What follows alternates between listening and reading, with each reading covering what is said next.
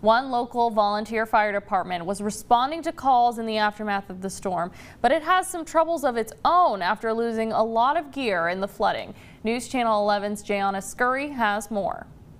On Friday, September 27th, rain from Hurricane Helene flooded the Elk River, taking with it in its path the Elk Mills Poga Volunteer Fire Station, along with one of their fire trucks. Members of the VFD were already out responding to calls. And then they got back and they tried to get all the trucks out and take them over to the store where it's a little higher ground. And they actually got them all out but one.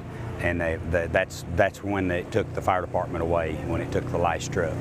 Michael Walsh, the Elk Mills Poga VFD chief, says all of their gear they didn't have in the saved trucks were also lost. I'm standing in the location where the Elk Mills Poga Volunteer Fire Station used to sit. The Elk River is right beside it. Fire Chief Michael Walsh says when they rebuild, it's going to have to be in a different location on higher ground. If it flooded once here, it'll it might not do it in my lifetime, but it'll eventually do it again. So we're we're going to start fresh and new. Even with their loss, the VFD is still out helping others in their community. We tried to get the best we could, you know, a food bank set up to give to our community, and now we have a, a communications trailer donated to us so we can get started on our fire department stuff. Jason Clausen is a fifth generation Poga resident. He says the fire department is a lifeline for the community.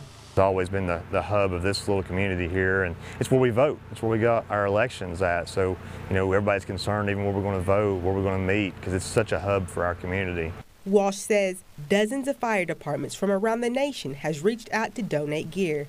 The Midway VFD in Virginia is donating a truck that was actually donated to them years ago when they needed help.